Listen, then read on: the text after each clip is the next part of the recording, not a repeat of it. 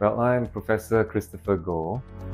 I'm an ENT surgeon, an ENT head and neck surgeon, and I'm a senior consultant at the Novena ENT Head and Neck Surgery Center.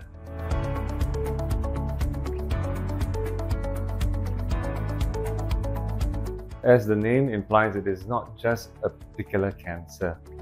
It is a variety of cancers that occur in this region that is around from the skull base, which is around the level of the eye, to the base of the neck, which leads on to the, to the chest.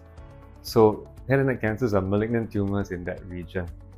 A few examples would be like uh, cancers of the mouth, the throat, the back of the nose called the nasopharynx, and some of the glands like the salivary glands and the thyroid glands. Also in the throat there is the voice box. So these are the you know, typical areas that you get head and neck cancers.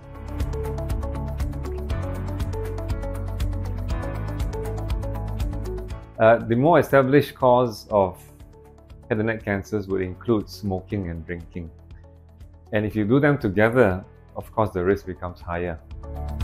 What is less well known would be things like uh, the human papilloma virus, which can cause cancers of the oropharynx in particular the cancers of the tonsil. Uh, salted fish related to cancers of the nasopharynx. The Epstein-Barr virus also related to the nasopharynx. Um, things like poor oral hygiene, uh, even uh, poor dentition, poor dental care can also cause cancers of the mouth.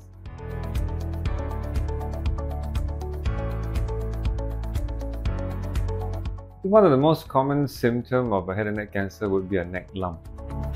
And if that does appear, it generally means that the tumor is in a more advanced stage, unfortunately. Other symptoms would be like, um, you know, an ulcer in the tongue that doesn't heal, bleeding from the nose, uh, voice changes like hoarse voice, uh, ringing sound in the ear,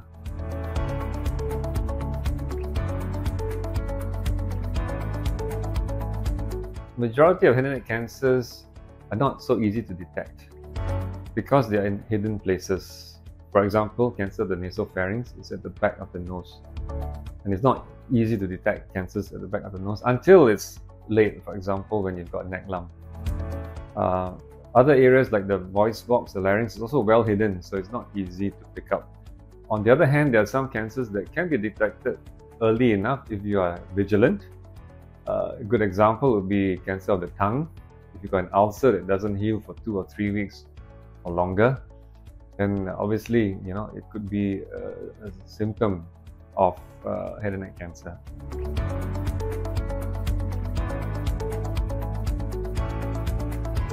Most of the time, we go by the symptoms first, and if you do seek treatment, then we will have to examine and do a proper head and neck examination, meaning that it includes also a nasoendoscopy. The nasoendoscopy will uh, give us a chance to look at areas that are well hidden, like the back of the nose, the nasopharynx, the throat, the voice box.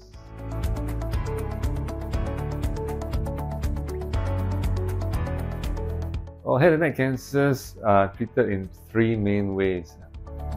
Uh, you've got surgery, radiation therapy, and chemotherapy. Okay, and sometimes uh, they are combined. So basically, these are three main ways in which you treat head and neck cancers, and sometimes they are combined. In others, you can combine surgery followed by radiation, or commonly chemo and radiation combined and given almost concurrently.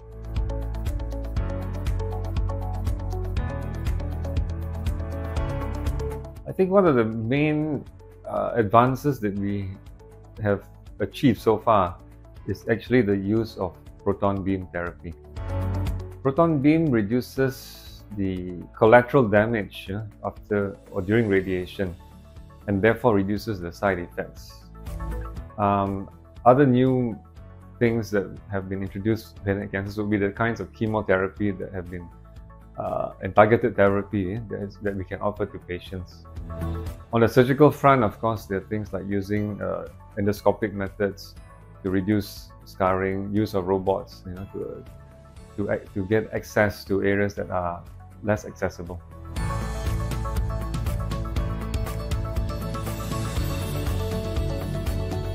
Mount Elizabeth Hospital has got well-trained surgeons, radiation oncologists, and medical oncologists. In addition, of course, the support team is also important. And again, Mount Elizabeth Hospital uh, does provide you know, a good support team for patient care. In terms of technology, I think Mount Elizabeth Hospital is one of the first few hospitals, perhaps the first hospital in Singapore to have the proton beam, uh, you know, ready for treatment. And as I mentioned earlier, I think that will give you know, the best results with the least side effects to patients.